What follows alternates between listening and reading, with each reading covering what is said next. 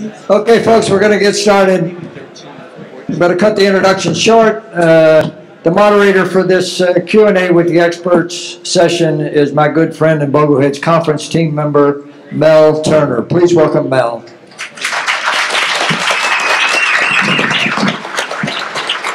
Thank you.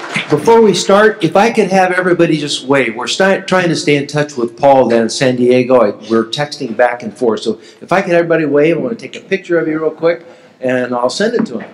So, okay, that's good. Perfect. Perfect. Real quick like that. He'll appreciate it, I'll tell you. He, he's like hanging on the edge of his uh, seat. So, my name is Mel Turner, uh, better known as Tom. You know the story behind that, so I won't get into that. Uh, thanks for all the first timers that have come here. Uh, we appreciate you making the effort, and also for the people that are coming back. Welcome back. We hope you enjoy it.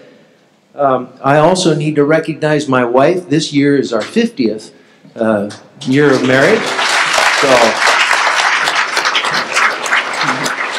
I'm not sure how she puts up with it, actually, this uh, insanity that I go through. So, who are we? We represent inside the room 31 states. We have uh, three countries until uh, until Nicaragua had to back out. Uh, Mary's, Mary flew all the way from Germany. She's by far the farthest, and she came out here just for the conference. That's pretty amazing to me. About a, a third of you are the first timers, and two thirds of you have been here before. So, and that stays true almost every year, uh, year after year. So we're glad to have the new people that are in here all the time. I've collected the uh, questions. I've got about 20 pages of single spaced uh, questions. I've tried to sort them out, made some for the young people, for the old people, for the beginners, the novice investors, and also for some more experts. So I tried to spread them out as best I had can. I've changed the wording on a lot of them. I've amended them, uh, but I'm sure you'll you'll recognize your question. And I tried to give priority to everybody that's in this room. So your questions are going to be asked first, or at least your name will be asked. Uh, your name will be mentioned first.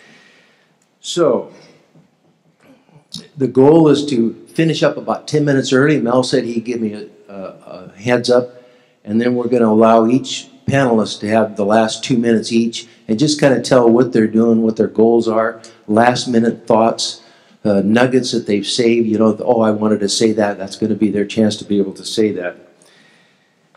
So, this session is all about you, it is your questions, and we're here to listen to what the uh, panelists have to say. So I'd like to go to the introductions uh, in alphabetical order. Last year I said in alphabetical order, and I introduced Bill Bernstein first, and I saw body language of Christine Benz saying, wait a minute, Ben Bernstein, what's, what's up with that? And uh, I just realized after I got home, oh, I messed up. So we're actually going to do it in alphabetical order today. So our first our first uh, panelist is the Morningstar Director of Personal Finance and the Senior Columnist for Morningstar.com. She's a prolific financial writer and, in my opinion, one of the best financial interviewers that's around. Please welcome Christine Benz.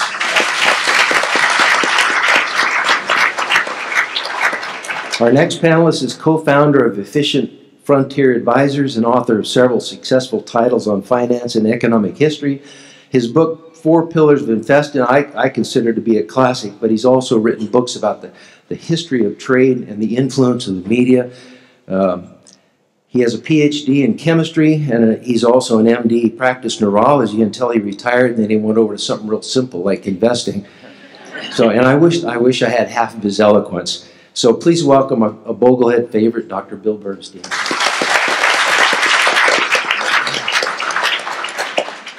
Uh, this, this is a second visit for our next panelist, and he's a Boglehead favorite after 20 years of writing columns in the, in the Wall Street Journal. He's also written nine books, including his most recent, From Here to Financial Happiness, which was released in September.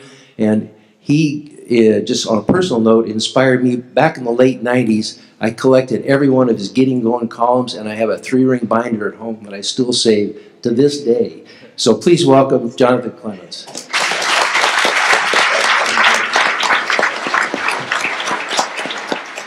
Our next panelist is the founder of Portfolio Solutions and the author of several investment books, including The Power of Positive, uh, Passive Investing, all about index funds, the ETF book, and all about asset allocation. He's been a supporter of the Bogleheads right from the beginning, and we are fortunate to once again have him on the panel.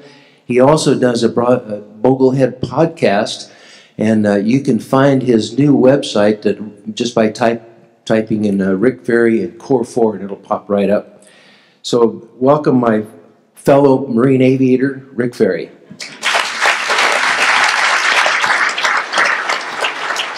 Our next panelist is the founder of Wealth Logic. He holds a CPA, CFP, and an MBA, and he served as a corporate finance officer of two multi billion dollar companies. He has decades of research in portfolio construction, but does his best to keep investing simple for his clients. I personally recommend his uh, How to How a Second Grader Beats Wall Street. I loaned the, the book to my friend who was had a broker with UBS, and he wouldn't give it back to me. And I, I, said, "Hey, give Bob, give me my this book back. I can't do it." I said, "Why are you keeping it?" He says, "I'm moving everything from UBS over to Vanguard just because just because of the book." So I checks in the mail. Thank you. so if I had to do battle with Wall Street financial machine, I want him on my side. His his professional goal is to never be confused with Jim Cramer. Please welcome Allan Roth.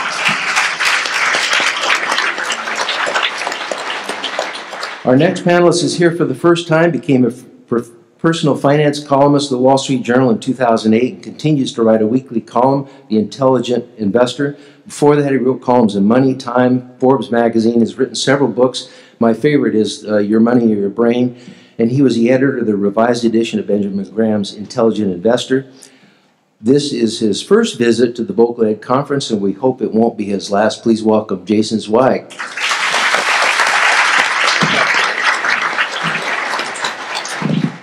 So, the first question, if Taylor was on there, well, I always ask him the, the first question, and to honor Taylor Larimore, for those that don't know, he was one of the founders of our Boglehead group. Uh, back in April, I emailed him and said, Taylor, I want you to have the first question. What do you want it to be about? We went back and forth several times about what subject we're bringing out. And as you know, he's a, a man of few words, but he's succinct and he gets right to the point. I told him about my story of messing up. 28, went to a personal finance class with my wife.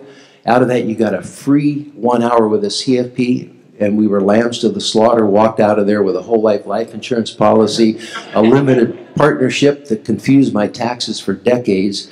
And, I, and he sold me Oppenheimer Regency Fund with an 8.5% load before I knew what load was. So Taylor decided, you know, everybody thinks these experts never make any mistakes. So he says, why don't you pass this on? He says, what was your biggest mistake of each one of the panelists, and what did you learn from it? Anybody can go first on this one. I'll go first. Uh, uh, back when I was the mutual funds editor at Forbes, this would date back to uh, 1992. Um, Jonathan had had the job before me.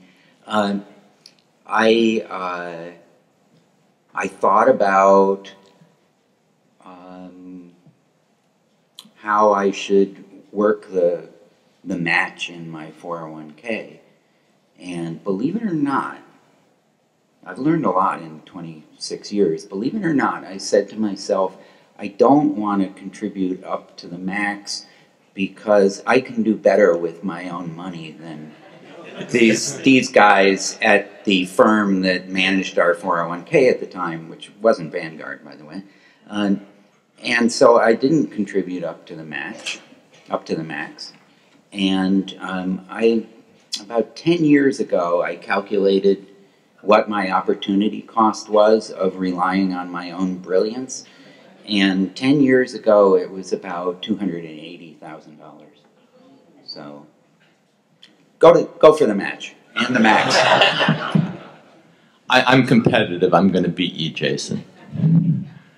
I took my college graduation money in 1980 and put $6,684 into 10 gold coins when gold was surging because I was sure it was going to triple. Today, it's not quite double that, meaning that it hasn't kept up with inflation. I did the math. Had I instead invested in Jack Bogle's S&P 500 index fund, I'd have well over $400,000 more.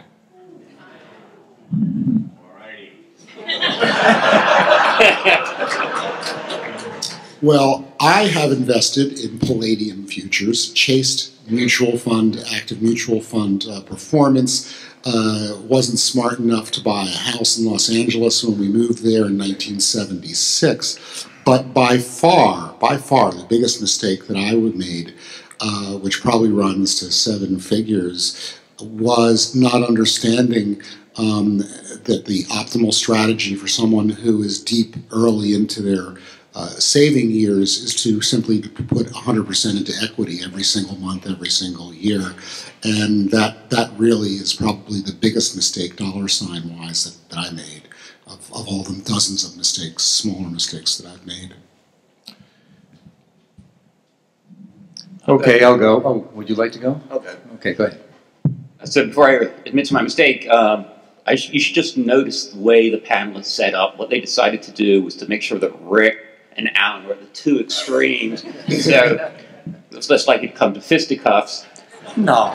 But if it does, one, I'm in the wrong place, and two, I bet on the Marine. You're safer on this end of the table than that. Unless you attack first.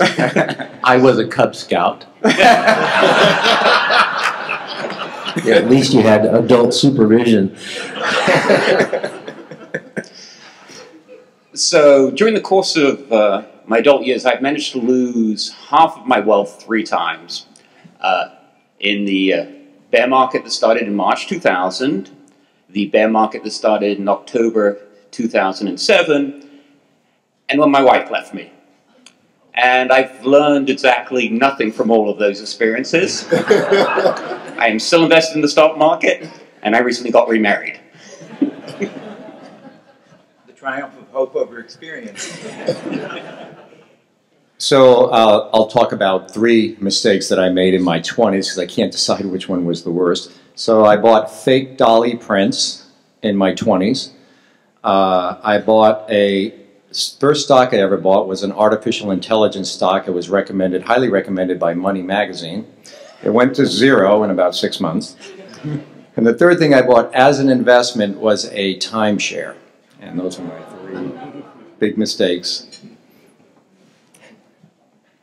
I'll go ahead. I have a long list, um, but I think the one that I reflect most on and um, feel the worst about is actually one that didn't have such a big effect on me personally, but I still feel guilty and complicit about um, having covered a lot of growth oriented mutual funds when I was an analyst in the late 90s and just just not pushing back hard enough on that whole phenomenon and not pushing back on fund managers enough and not asking all of my stupid questions for fear that I would um, somehow show myself to be not so knowledgeable. So I guess I've been trying to atone for that in, in one way or another ever since because I feel um, guilty about whatever role I had in helping investors um, take part in that mania. So I hope you don't feel so bad now about your mistakes. we all make them. Uh, if you don't make mistakes, you're not trying very hard. So the next question is uh, kind of a carryover from the last uh, conference we had. Um, Sue asked a question about Bitcoin, and everybody was getting a big laugh out of it because they said, well, it's going to be the last one holding the bag is going to get stuck with a Bitcoin. One of our panelists picked up the mic and said, I bought some Bitcoin there were so many people that inhaled it sucked the air out of the room. In the meantime, Bitcoin has been from 4,200 up to over 19,000, as you saw on uh, Jack's slide today. Right now, I don't follow, but it's, it's like 6,200 or something like that. So we'd like to ask Allan Roth what you've learned in the last year, who's buying Bitcoin, and then we'd like to ask the panel as a whole, do you think it's a real deal or do you think it's a scam? For the record, I think I also disclosed about $200 worth of Bitcoin so that I could basically fact check everything people were telling me about buying Bitcoin so that the article was accurate.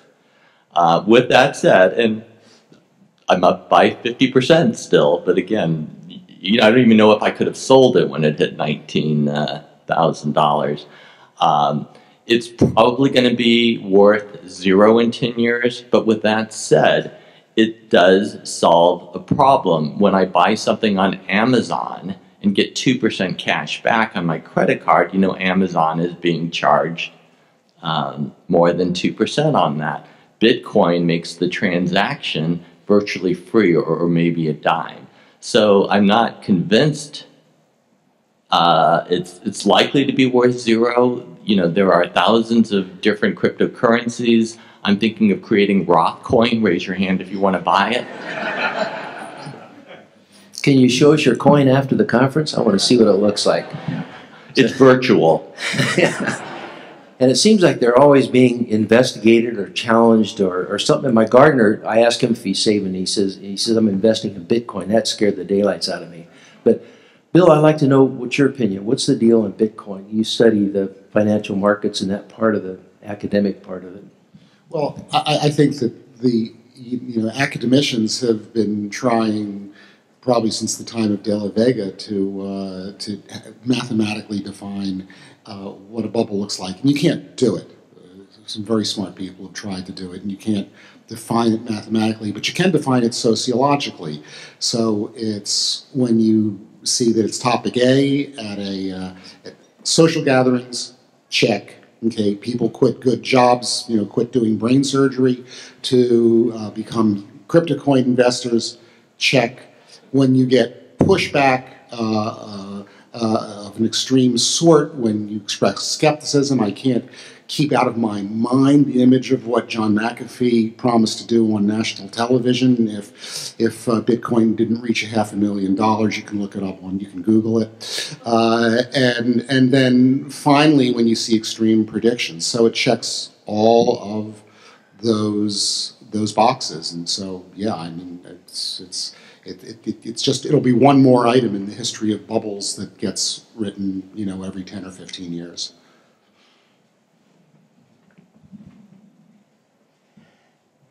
So while there's a limited amount of any particular cryptocurrency, there are an unlimited potential number of cryptocurrencies.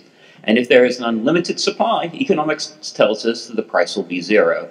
When even Allan Roth is going to have his own coin, you know that there's just the, the supply will swamp demand and the price will inevitably head towards zero. Did Rick Ferri pay you to pick on me? I applaud Allan Roth for buying Bitcoin. I would have done the same thing. Not really.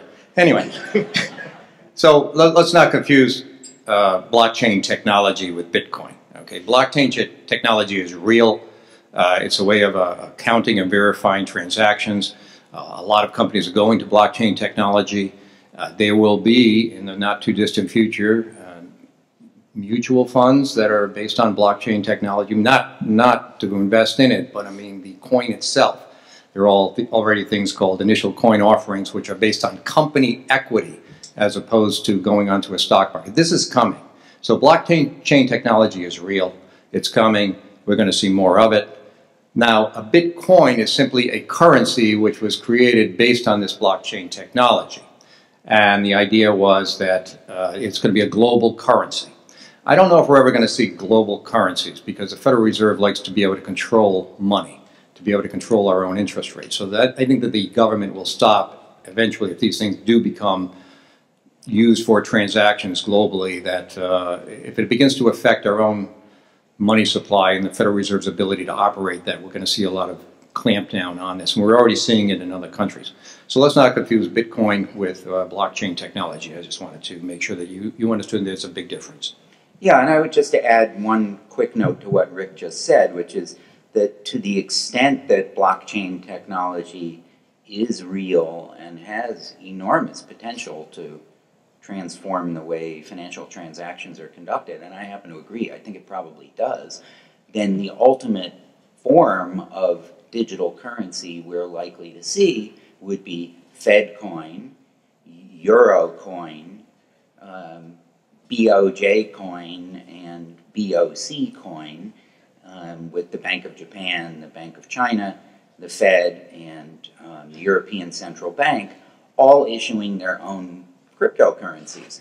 And when they do that, it's going to be very hard for private cryptocurrencies to compete. I think the problem that a lot of speculators have made, because I would not call anybody, including Allan, of course, who invests in Bitcoin an investor, because they're not investing, they're speculating.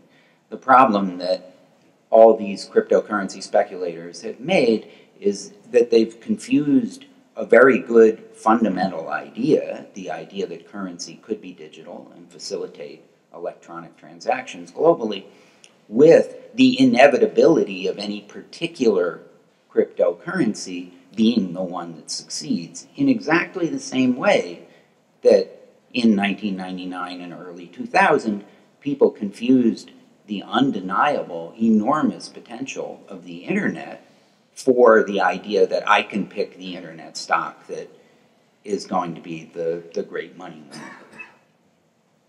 Christine, have you written about it at all? No, um, we keep passing around the Bitcoin specialty, I, but we um, have not delved into Bitcoin in any great depth. Okay, let's go on to the next subject, and it's kind of a carryover from the last um, uh, conference that we had. One of the questions that were there. It says, here's, here's another follow-up question from last year's conference. Several panelists suggested emerging markets were undervalued and would be a good place to invest. Since last year, Vanguard Emerging Market Stock Index Fund Admiral shares are down 8%. Over the last 10 years, they've only returned 3%. So this is from Danielle. It says last year, Jonathan Clements suggested that due to demographics, emerging markets have more potential for growth in the next half century. I would like the panel's views on this, especially Mr. Clements. it's a classic example of the mismatch between the way the financial markets operate and our own expectations of returns.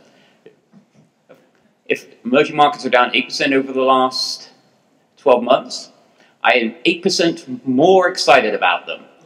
Aren't, aren't we told, told to buy low and sell high? If you thought emerging markets were a good idea last year, and I certainly did, have every have no reason to think that there are any worse ideas today. And in fact, at current prices, I'm more excited by them. So yeah, I have as much in emerging markets as I did a year ago, maybe even somewhat more. And I fully expect over the next 10 plus years that they will be a great investment. and I, you know, I would not advise anybody to put their entire portfolio into emerging markets, but if you have, say, 10% of your stock portfolio in emerging markets, I don't think that that's unreasonable. The nice thing about emerging market stocks is that from time to time they get to be really cheap.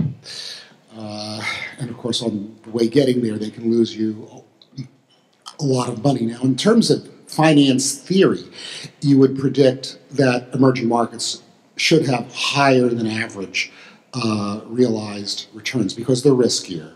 Okay, I'm not sure that the data are convincing on that subject. And in fact, when you look at the very longest time series going back to you know the year 1900 uh, of what looked like emerging markets stocks then, they actually have had returns that are lower than developed markets. And there are possible reasons why that's so, having to do with rule of law and shareholder rights. What I like to say about Chinese stocks is that you know, a country that doesn't protect its children from lead-contaminated toys is not likely to also protect the interests of foreign minority shareholders. Um, that said, uh, I, I, think that they're, a small part of them is a reasonable part of uh, a diversified portfolio, if for no other reason than rebalancing reasons. You know, they, they are, they're very volatile. The prices go way up and the prices go way down. And if you're, if you're a disciplined long-term asset allocator, that's a good thing. I, I, think there's also a myth out there that faster growing economies uh, relate to faster growing stock markets. And Jason, I believe that's not necessarily true. And, and then just one other thing people, even advisors, chase performance. I profiled Dimensional Fund Advisors, DFA, a few years ago, and their largest single fund was their emerging markets fund because after it had performed well, money moved in.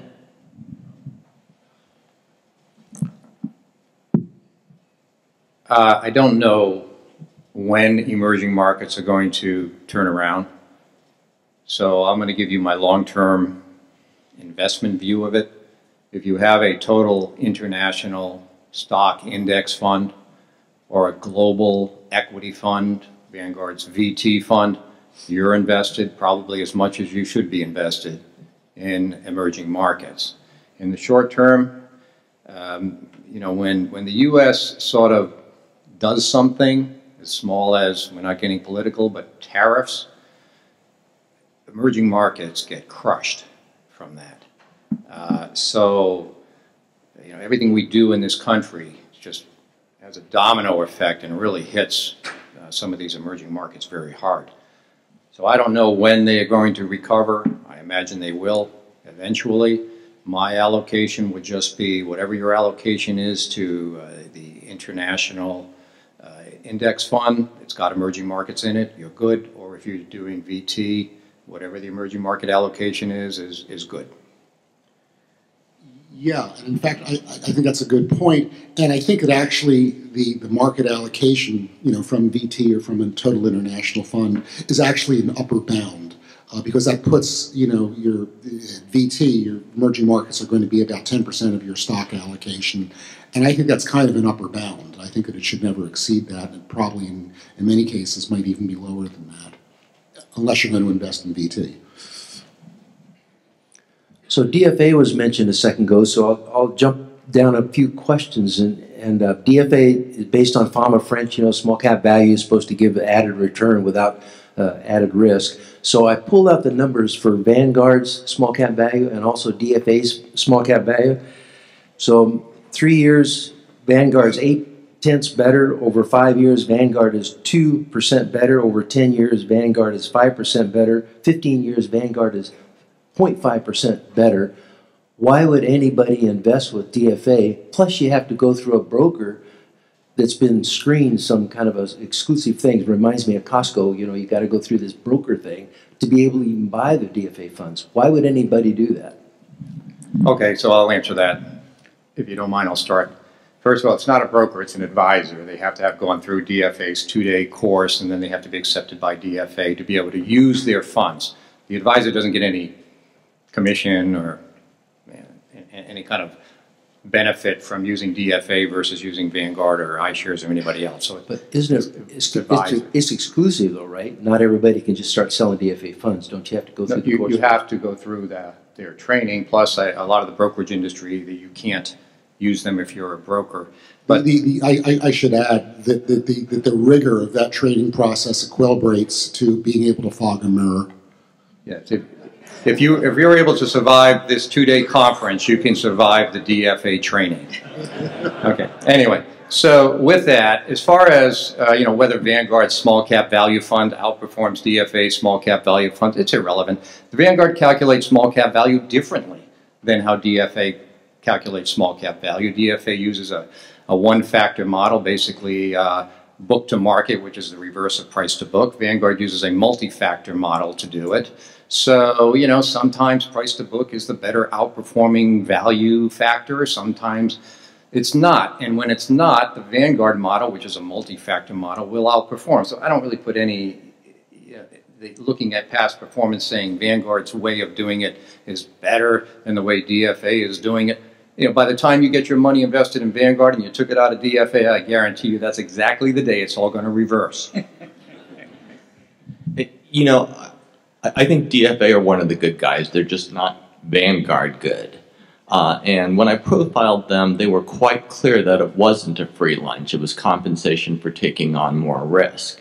And roughly 15 years ago, I, I did an experiment. I put maybe 5% of my assets in DFA and, and 95% at Vanguard. Today, I'm about 2% DFA and 98% Vanguard. Uh, and my biggest disappointment was really the tax inefficiency of a firm that says they're very tax efficient. So the next question is the most often asked questions, and I hope I can express it. I'll read three people's different uh, requests, but they all kind of uh, fall into the same theme. Um, they're basically worried about the rise of interest rates and why should I buy, why should I be in bonds. So the first one's from Fred Beery. He should be in the room here somewhere. He says, "Fir- First, thanks for organizing the conference. My question is for fixed income, part of our asset allocation, what are the pros and cons of using CDs or CD ladders instead of a U.S. bond fund? And he says, note, I don't have any international bonds. And then Trey Parrish, he should also be in the room here somewhere, is rising interest rate environment, is a CD or treasury ladder better than going into a bond fund? And Mark Miller is also in the room. With rising interest rates, what other lower risk options should one look at as an alternative to bonds? Should we just sit it out? Or should we put it in there and accept that our principal is gonna go down? Allan has to go first. You can take the CD portion. Thank you, Jason. yeah. Uh, fir- first of all, what I don't do is ladder CDs. Uh, we buy longer term CDs that have very easy early withdrawal penalties, and it's essentially a put, the right to sell it back to the bank if interest rates go up, um, ra- rather than take the loss. Total bond fund, in an extreme example, would lose, I just calculated, 19.27% if interest rates rose 4 percentage points in one year with, let's say, an Ally Bank CD, you earn roughly the same interest. But with a five month penalty, you'd make 1.75%. That's the first part of it. The second part, it's an incredible myth that we are in a rising rate environment. We rates have risen just a bit. The Fed controls the overnight rate, nothing more. Top economists have called the direction of the 10 year Treasury rate up or down 30% of the time, less than a coin flip. So we don't know what rates are going to do. So I use a combination of CDs and uh, bond funds. You know, right now with the flatter yield curve, if clients want some short-term bond index fund, I'm absolutely fine with that because last I looked, there was only about a 30 bip difference in yield.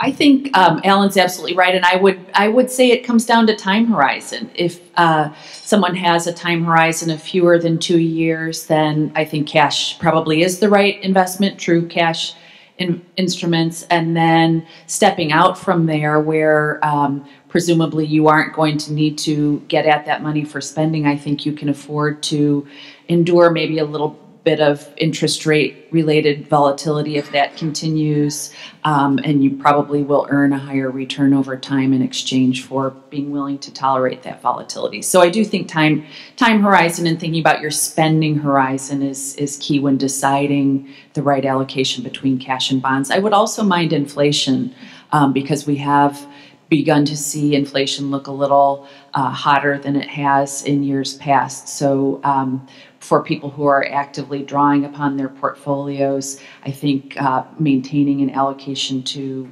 inflation protected bonds makes sense as well. Yeah, two two minor points. Number one is that there's a very stocks have a very slight tendency to mean revert. Uh, bonds have zero tendency to be to mean revert. So if rates go to ten percent, either at the short or the long end or both, you shouldn't reassure yourself that they can only fall. Uh, as, as people to their chagrin found out in the late 1970s. Second, you know, Allan, correct me if I'm wrong, but but I think the last I looked a couple days ago at the short end, Treasuries actually had higher yields than CDs.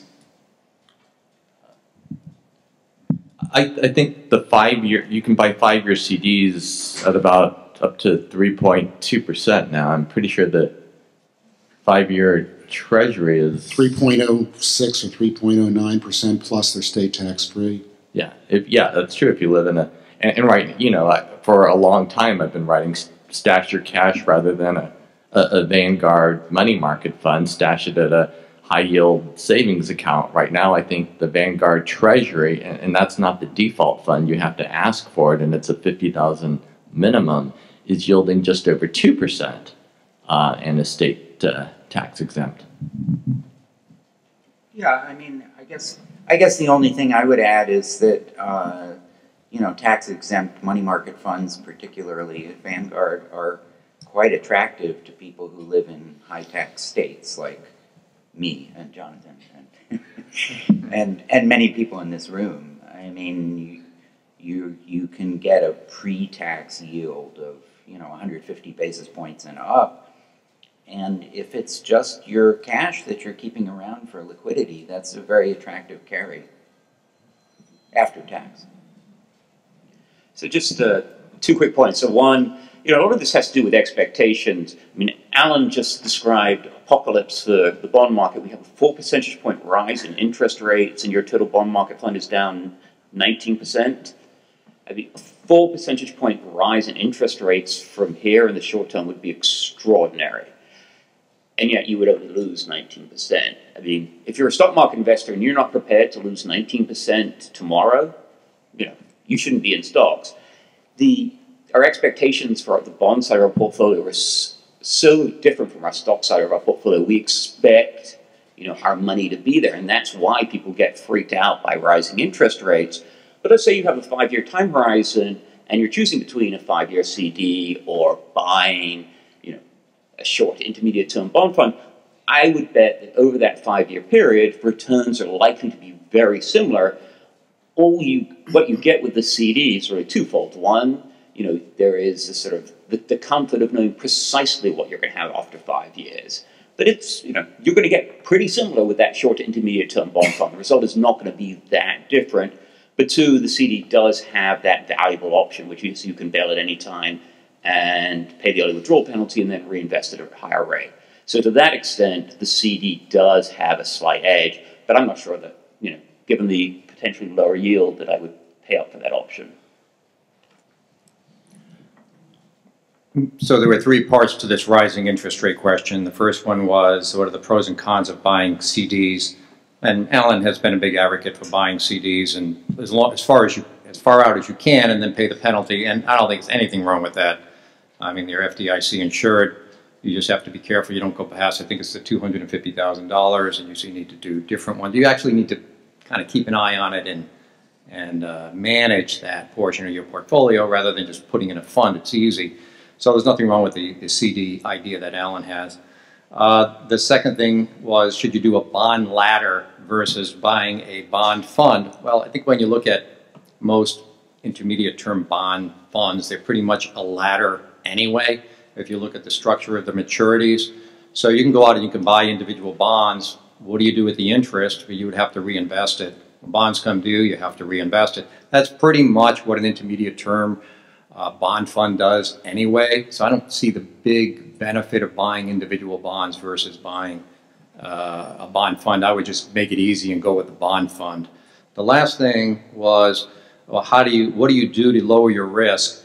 And Christine mentioned TIPS, Treasury Inflation Protected Securities, where if you think that interest rates are going up because inflation is going up, then TIPS make good sense. However, realize that there are two parts to uh, to the return of TIPS. One is the inflation component, and one is the real return component. And if inflation doesn't go up, but the real return on interest rates do go up, then the value of TIPS isn't really going to help you because you, it's not, tip, TIPS are not, uh, the, the real interest rates go up and inflation stays the same, TIPS are going to get beat up just like every other bond. So realize there's two components to TIPS. So to me, uh, if your liabilities are intermediate term, just buying an intermediate term bond index fund works. If your liabilities are short term or whatever amount is short term, keeping that money in the money market or keeping it in short term bond funds makes sense for that portion of your money. So a little change of pace and the privilege of putting this together, I'm going to ask a, a personal uh, question. So this isn't the average group. Most people can't come up with 500 bucks, and I have a feeling that most people in here are flagship members, and they've done very well because they focused on investing. So the question I have is, how do you teach your kids uh, character traits like honesty and hard work and compassion for others, and not focus on money to convince them that money shouldn't be the center of their world. Their character should be the center of their world.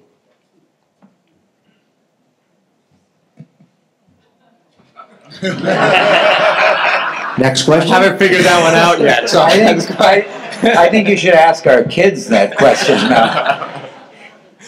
Yeah, two things. I think I said this last year. Write a book with your son called How a Second Grader Beat Wall Street. Eh, but, you know, look, I knew how to be, I, I think I lucked out. I have a great kid. I'm like any dad, I'm very proud of my child. Um, but I knew how to be an absolutely perfect parent until I had a kid. Not so easy. I think that simply making conversations about financial and non-financial issues part of dinner time conversation is the key. Just talk about what's important to you, you know, how you conduct yourself in your daily lives, how you manage your portfolio. Talking honestly about mistakes you've made, the things you've done right. Having those conversations on a daily basis is probably more powerful than anything you, you can do. You can construct elaborate reward systems to get your kids to do one thing or another, and I certainly did a fair amount of that with my kids. It was, it was sort of fun manipulating them. But, uh, but simply talking to your kids openly and honestly, I think, is more valuable than anything else you can do.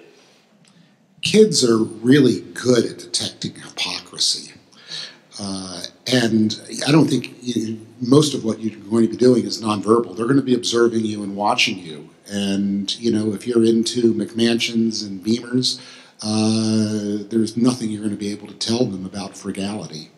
Um, they're going to be watching how you invest, how you how you how how you save, and how you spend, and what you doing is probably what they're going to wind up doing. So I'll tell you one story that I did with my daughter about 10 years ago. She's 30 years old now, so she was 20 at the time. Had saved about a couple of thousand dollars. She says, "What should I do with it? I want to, I want this to be a long-term investment." So I said, "Put it in the Vanguard Total Stock Market Index Fund." So she did. Then the market went down, and she got panicky and she wanted to pull the money out because her $1,000 was only worth $800. So I said to her, let's make a deal. You take the $800 out, and no, what I said to her was, if you hold that fund for 10 more years, if you lost money after 10 years, I will make up every dollar you lost. So it is a risk free investment. However, if it goes up, I get half of the gain. The stockbroker. She looked at me and she said, I'm good.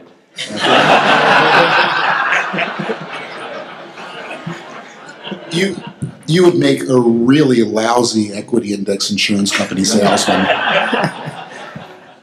So I, I, had a lesson go wrong. My daughter called me up. She says, uh, she always poo-pooed me. I, we'd sit around the dinner table and she says, tonight we're going to talk about zero coupon bonds and how they work. And I said, oh, Dad, get off your soapbox. We're sick of that. So she poo-pooed me until she was like 35. She called me up. She says, I want to buy a share of Apple. And I said, well, that's not investing. You know, you're gambling. I want to buy, okay, I'll, you buy one, I'll buy 10. Son of a gun if it didn't split seven for one and go right to the moon.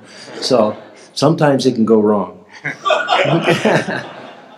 So, Mel, maybe I'll jump in because I, I, I think uh, there are some people in the room who have young kids, and uh, I think one message that I would send to you is be patient with your kids about how they absorb the lessons you're trying to give them. And uh, I'll tell a story. Um, I, when my older daughter was about 14, I guess, uh, I walked into her bedroom and she wasn't there, but all the lights were on. And I can't, t- well, this is a room full of bogleheads. You'd all be mad. I was really mad. and, um, and so I turned the lights off, and then she came back and got in an argument with me. And so I sat down on the bed and I told her my dad's favorite story about how um, uh, when he was a kid growing up on a farm in northern New York State, he was the youngest of three boys, so he had the worst job, which was to fetch the water in the morning. Um, and they had no indoor running water. He had to go out to the pump. And in January and February, it would be 20 or 30 below zero at 4.30 in the morning, and my dad's pants would freeze, and he would walk into the house with his pants legs clanking. And so on his 16th birthday, my grandfather bought a pump, a power pump, a generator that would pump the water so my dad didn't have to do it by hand. And so the first day, my dad was out there and he pumped the water using the electric pump. And he was so excited. He filled the first bucket and he, turned, he leaned down to fill the second bucket. And the next thing he knew, he was flying through the air and he smashed against the wall of the barn. And my grandfather's fist was in the middle of his shirt. And my grandfather, who was an immigrant from Eastern Europe, held my dad up against the wall of the barn and said, You hear them thumps? And in the background, the pump was thumping over and over again. He said, Every one of them thumps is a nickel. and my dad told me that story when I was 14.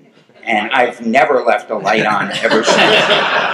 and so I tell this story to my daughter, and she's like, Yeah, okay, Dad. And I come home the next night, and of course, all the lights are on. but now she's 24, and when she has, and she pays her own utility bill, and now she turns off all the lights. So the lessons will sink in, but it, it could take years. Yeah, I mean, I've got a story which is not quite as good as that, but it's in the same vein, which is uh, our youngest son was probably the spendthrift of our children. And one day, you know, when he's 19, he's at college, he calls up his mother and he says, You know, mom, I just learned something really cool. When you buy frozen orange juice, is cheaper than buying the cartons. and, and, and, and, and his mother said, "Yeah, I, I know that." Uh, and she says, "Can you can I borrow one of your one of your plastic cartons?"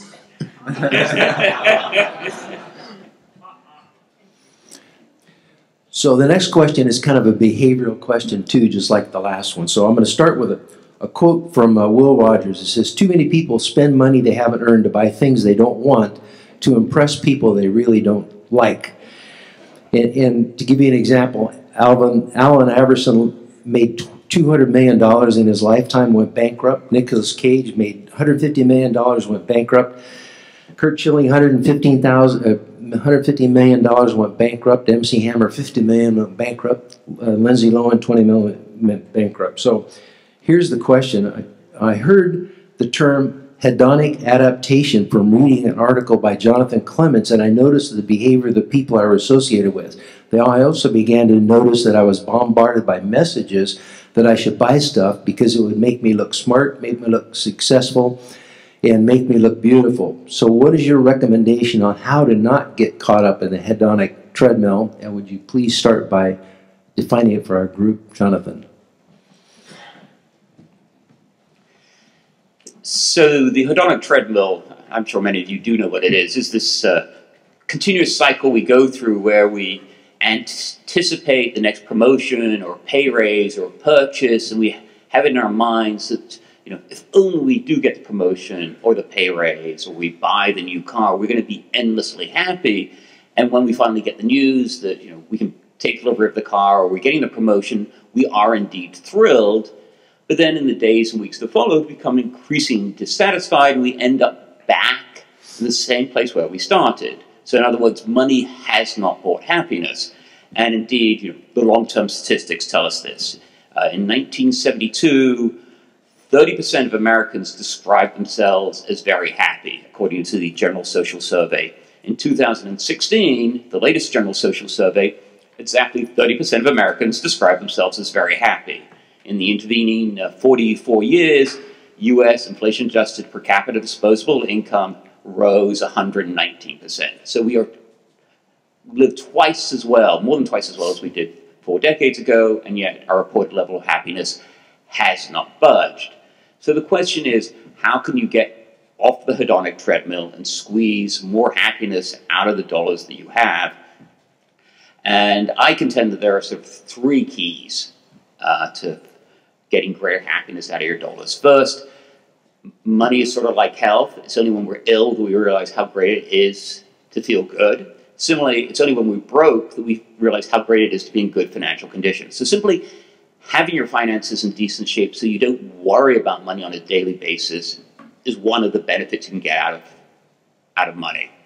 Second, money allows us to spend time with friends and family, and particularly times with friends and family where we have great experiences. One of the things that you know, you discover when you talk to people as they grow older, is they become less focused on buying material goods and more focused on creating memorable experiences with friends and family. Going out to dinner, arranging the family reunion, taking everybody to Disneyland, God forbid.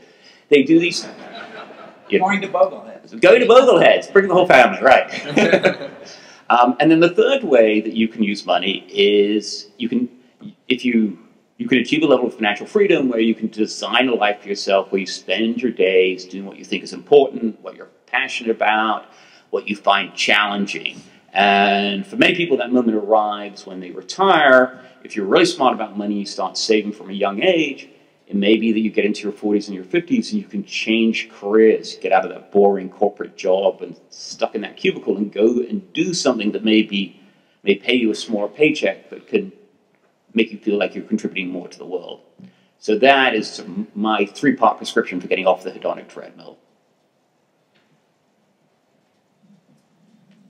Any other suggestions? I have a simple one. Spend less time on your cell phone.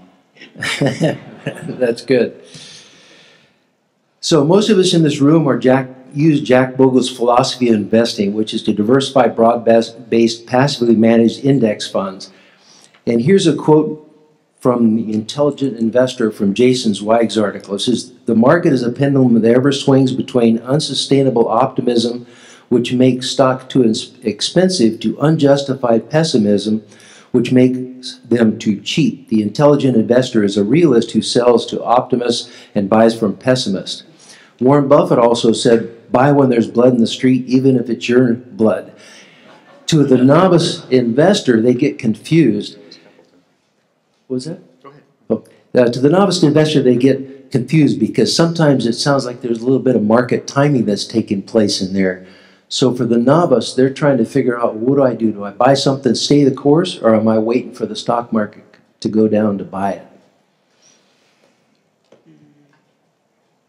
Um, I think the answer to that is um, for an investor who wants to maybe harness that sentiment a little bit but not engage in market timing, I think rebalancing is a great suggestion, um, especially given that we are 10 years into the current equity market rally. We're all 10 years older. I do think that um, investors who, especially those who are, say, over 50 and starting to think seriously about retirement and when it will be, or if you're already retired, certainly, um, I think of rebalancing as kind of a chicken way of um, making sure that you are um, selling high. So I um, advocate rebalancing, especially for people who are getting close to retirement. For younger investors, I think it's maybe less essential, um, but perhaps uh, worthwhile to look at sort of intra.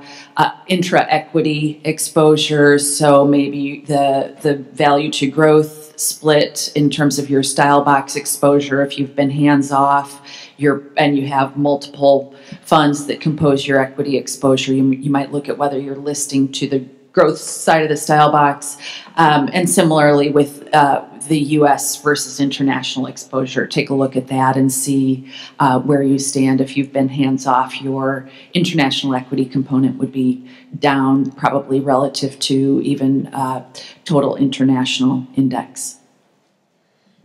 One of, one of my favorite quotes is from John Templeton, who said that bull markets are born in despair, rise on pessimism, uh, mature in optimism, and die in euphoria. Uh, the, the best time to buy is at the point of maximum pessimism.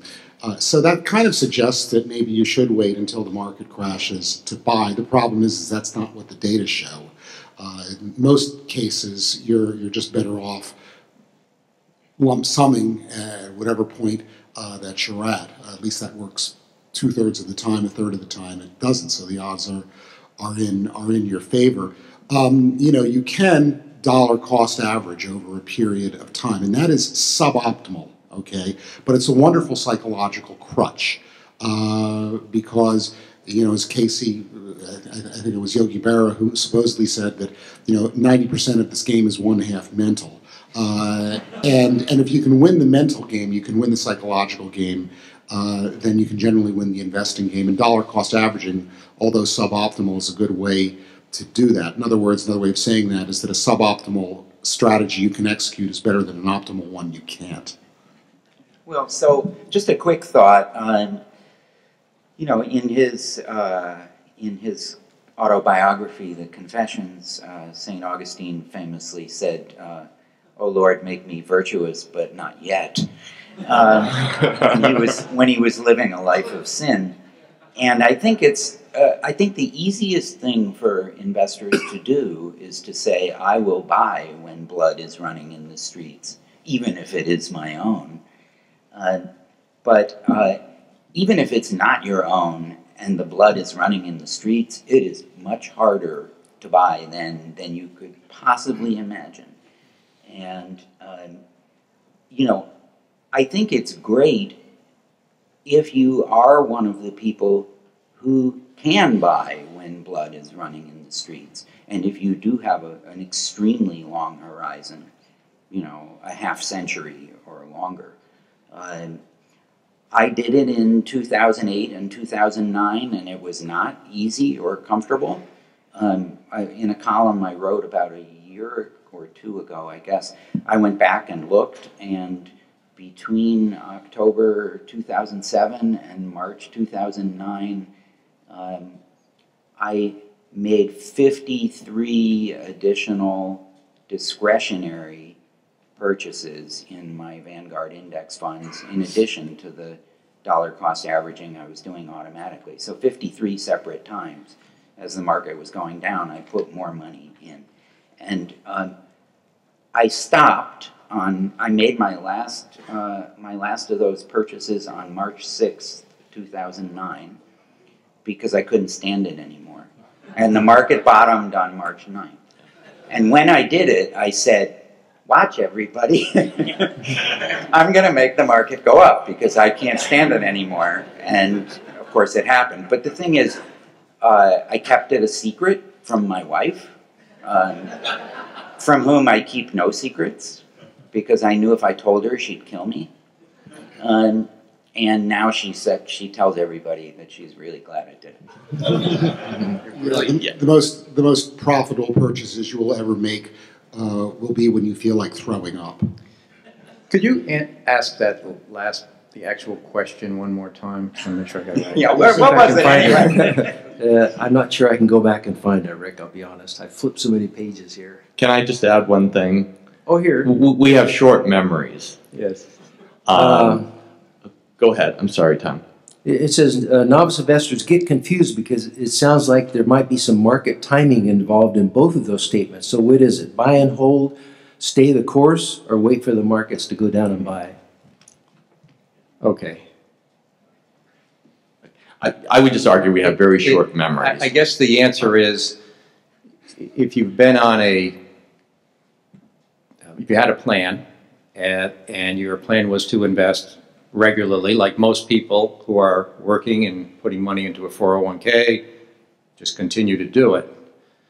Uh, like Jason said, you have a long time horizon. If you happen to get a windfall, that I'm not talking about a windfall from retiring and getting a 401k that was 60-40 in stocks, and then you have to convert that to cash, and now you've got all this cash. What should you do with it? In my opinion, since it was already invested, you just take that and invest it the way it needs to be. But I'm talking about an actual windfall of money that comes from, say, winning the lottery. Uh, whatever. The, that is a little bit more difficult. In that case, you might dollar cost average. I actually wrote an article about dollar cost averaging and when to do it. Bill is correct. Most of the time, you're not better off mathematically dollar cost averaging, but depending how you get the money, how it comes to you, sometimes it just feels better to dollar cost average, and there's a higher probability that you're going to stick with your plan if you dollar cost average. So that's what you should do. Well, follow-up to that, everybody says, well, why don't we just put it in index funds and not look at it? So there was another question that asked uh, later in the, the panel here, if indexing is a way to go, how do you explain the performance of prime cap and capital opportunity where they're beating the market? Why not just put it in an actively managed fund like that that's doing so well? Okay, so let's get away from this future prediction of beating and just call it have beaten, past tense. Okay, we don't know. Prime Cap uh, has done very well. Can't, can't argue. There is going to be uh, active managers who outperform. We know that. We just don't know who they are going to be going forward. Is it going to be Prime Cap? I don't know. I- I've just four words as an answer to that, which is Legg Mason Value Trust. For those, for those who aren't familiar with it, it beat the S and P 500 not just over a 15-year period, but for 15 consecutive years. If anything, if anybody looked like a winner, it was Bill Miller. Uh, and in about three short years, he gave back all of that 15 years of outperformance. So let me ask one more question, and then we're going to go to the panel. Each of you get about two minutes or so. This will be the last question that we get to ask. Sorry, we had 30 questions, and we only got to ask about 15, which was typical last year also.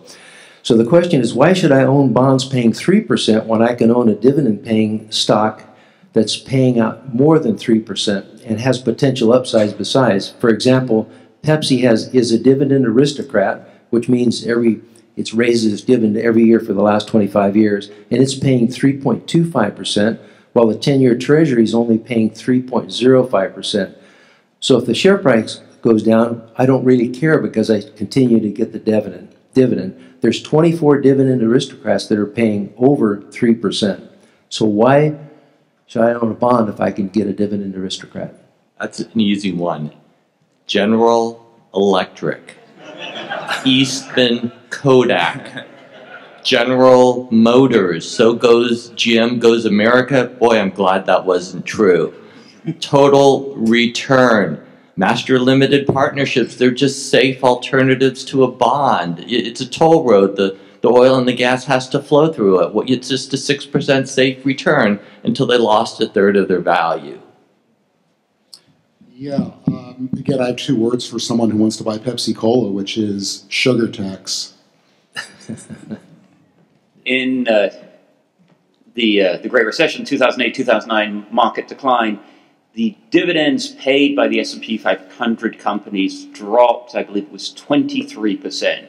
So anybody who bought S&P 500 companies thinking that they could just live off the dividends and it was a substitute for owning bonds would have seen the income they received drop 23 percent. That did not happen with Treasury bonds.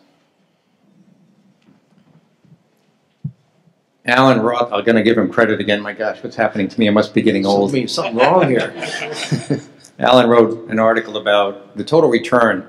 A a dividend is the cash that a company pays, but what if you just sold a little bit of your equity every year?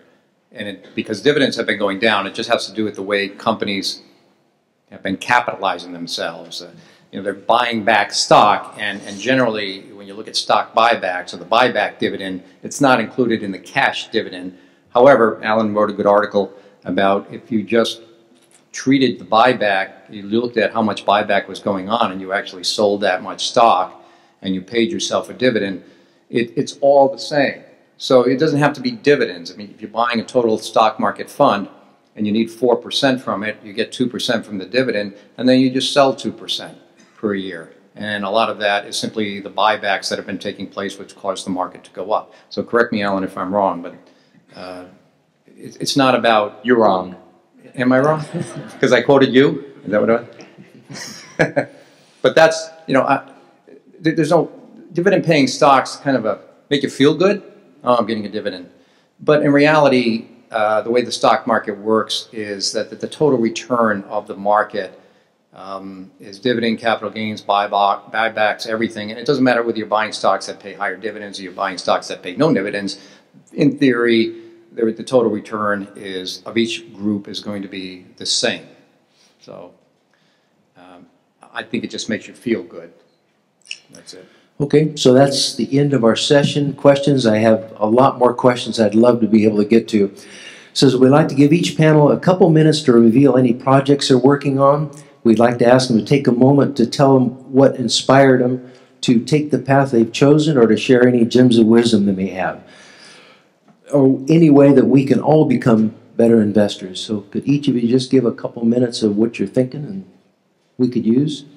Well, if you want to learn to be a better investor, let me go first because at the end of the table is Allan.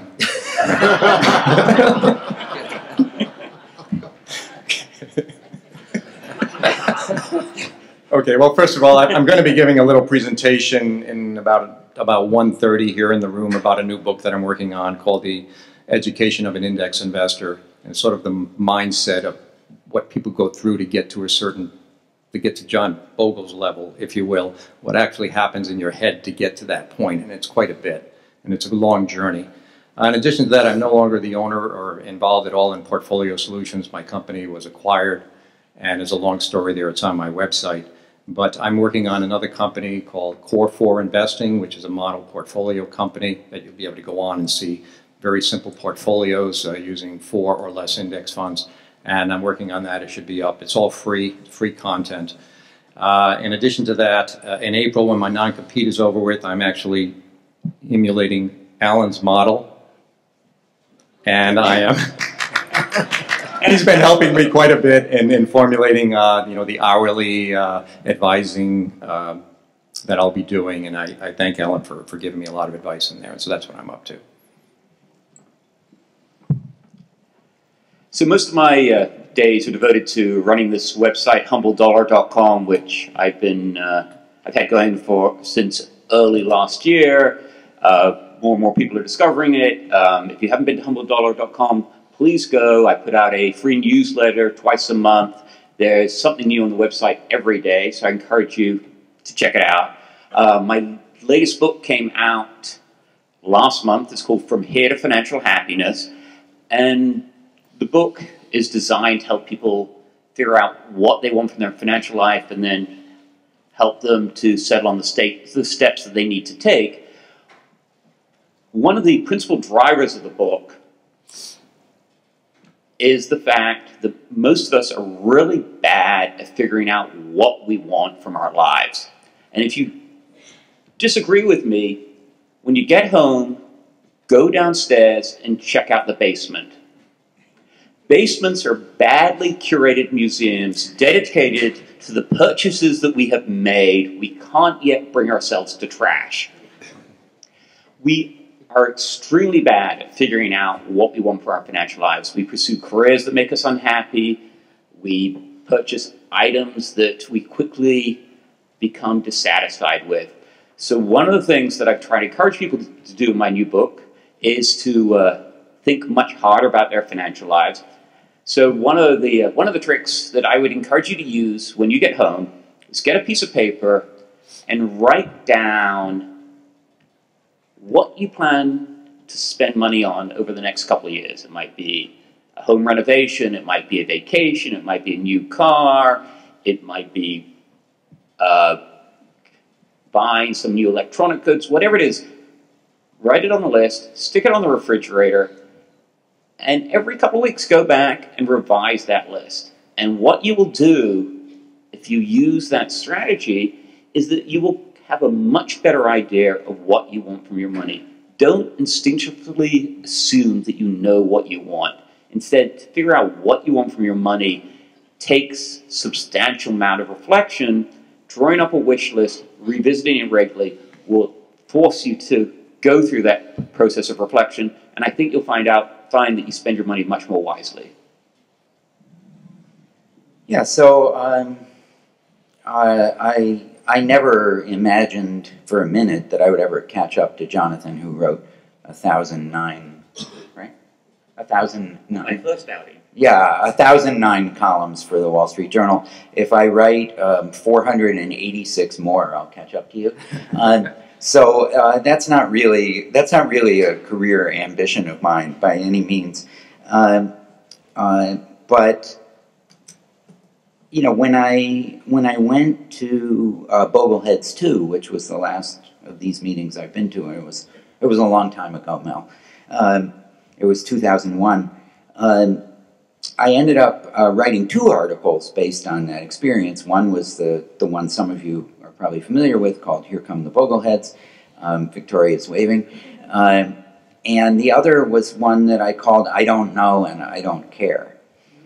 And um, and in that second piece, I realized something important that I had actually learned from those of you who were were with me at the at Bogleheads 2, which is that it's one thing as an investor to say I don't know.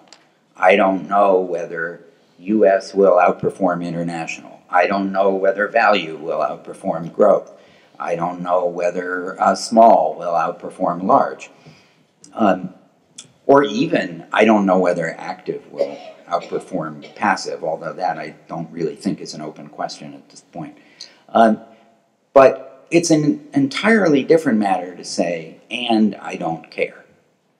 Um, because not caring is hard, because it means you go to the barbecue and you listen to the guy who just bought Bitcoin and, and um, he, he bought it at $13 and now it's at 19000 and you didn't.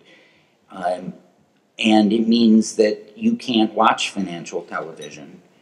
Um, you have to be very focused, very disciplined, and you can't let your views be contaminated by what other people are saying or by what the market is doing. And so um, the importance is that the two beliefs have to go together. You have to renounce any interest in knowing the answer to questions that probably can't be answered. And you have to get to the point where you don't care that you believe you know. And so, uh, finding new ways to help people get to that resolution is sort of what I'm about at this point. Yeah, the first the first question is easy. I think the thing that most everybody can do that will make them a better investor is to simply pick a simple strategy and then stop obsessing about it. Maybe look at your portfolio. I don't know once every five years or so. Uh, you know, the less the less you it's it's a proven fact that the less you look at your portfolio and the less you evaluate it, the better your returns are going to be. Uh, what I'm doing uh, is is writing long form historic, historical nonfiction, uh, and one of the joys of doing that is you work for three years, and then for six weeks you get to sit bolt upright uh, in the middle of the night in a cold sweat during this, wondering whether your publisher is going to accept the manuscript or not. So that's where I'm at right now, and the less I talk about it, the better. Um, I continue to toil on the logistics of retirement decumulation. That's a key preoccupation for me in my work on Morningstar.com. Constructing model portfolios, not with an eye toward beating all other in retirement portfolios, but just an eye toward showing um, what a sane in retirement portfolio might look at look like and how you can go about extracting cash flow from that portfolio in uh, not to be confused with pure income because I know a lot of retirees are very uh, fixated on current income. So I've been trying to um, showcase that and talk about that in my work. Um, separately, I've been talking about some of the other challenges of uh, retirees. Um, one of the big ones, and I've talked about this here before, is the challenge of confronting long term care costs which is, I think, the huge unaddressed problem for many middle class to upper middle class households and retirement savers, people who thought they were doing all the right things to try to ensure a comfortable retirement. So, unfortunately, there aren't a lot of great answers in the long term care space, um, but it's an evolving landscape, and uh, we've been trying to talk about um, some of the new products coming online, the, the good and the bad of them, some ways to think about paying for long term care costs, um, using HSA premiums, for example, to uh, pay for long term care insurance. So we, I've been talking a lot about those issues and also trying to touch on the softer side of long term care, some of the costs um, that it inflicts on families because much of long term care in this country is shouldered by unpaid family caregivers. So, trying to um, address that whole set of hard issues related to long term care is another, uh, another focus of, of mine.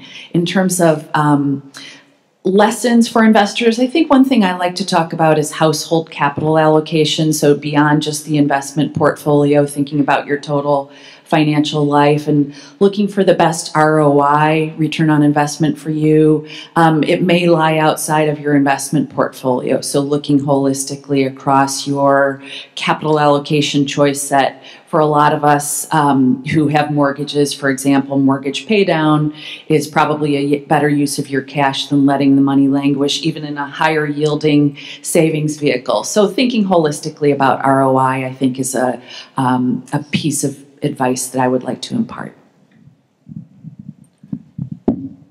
Jack, I- I'm sorry you have to hear this, but I'm launching a market neutral fund that will short the stocks that Cramer says to buy and vice versa. um, look, Can I short that fund? I'm having the time of my life, and if it ain't broke, don't fix it. I'm, I'm going to keep doing the same thing. Jack, I'm having the time of my life because of you, uh, because of it, incredible advice that everyone, including Rick Ferri at the end, has given me. And, and I, I'm so appreciative. So I, I continue. I'm going to write. I'm going to do my hourly planning. Uh, Rick, I couldn't be happier that, that you're going to go that uh, route. Um, I'm doing some teaching still. Uh, I'll, I'll chase windmills until I die, not as successfully as, as Jack. I, I think a lot of regulators don't do the right thing. I would love to see financial planning be viewed as a profession. Uh, I am a CFP. I just wrote a piece, I believe it was last week, you know, noting that the CFP spends a lot of money advertising the higher standard but doesn't actually enforce it. So I, I would really like to see um, you know, regulators and, and, the CFP board do a better job of, making the industry fair. Um, but it's absolutely Jack Bogle and Vanguard and all of you that did incredible writing that educated people. Uh, where now 44% of, of money in U.S. stock funds are, are in index funds. Allan is too modest to, to admit that what he really enjoys more than anything else is provoking insurance salesmen into legal threats. So we'd like to thank you, everybody who submitted a question. We appreciate it, but we especially thank our panel. Uh, your opinions are well respected. You're leaders in the investment community, and we appreciate uh, what you had to say. So let's give a round of applause to our panel, and we'll see you after lunch.